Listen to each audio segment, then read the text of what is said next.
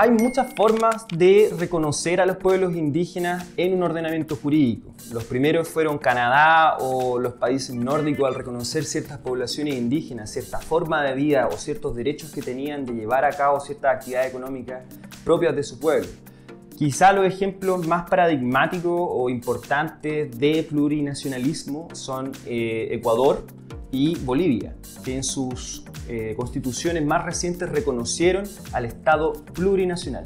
Eso en la práctica significa que los pueblos indígenas tendrán una autonomía administrativa mayor, es decir, podría existir un territorio mapuche efectivo dentro del Estado chileno en el cual ellos tengan un mayor grado de eh, influencia respecto de las decisiones que tomen, como por ejemplo la tala de bosques nativos o espacios que para ellos sean sagrados.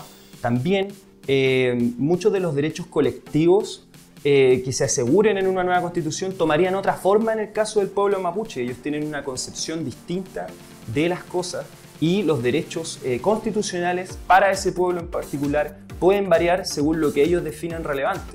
En definitiva, la plurinacionalidad significaría que los derechos indígenas tomarían otra forma en razón de las necesidades de ese pueblo en ese territorio con sus propias características. No serían las mismas que del resto de las personas que viven en Chile.